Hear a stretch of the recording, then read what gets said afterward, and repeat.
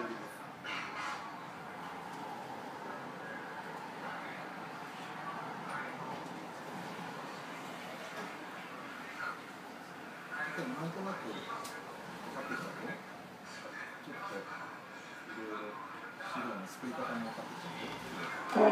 あはい。ありがとうございました。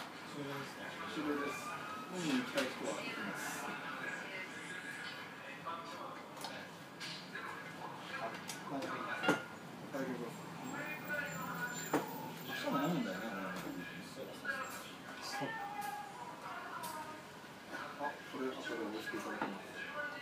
蔵庫の中のビールと余ったコーラと。ありがとうございます。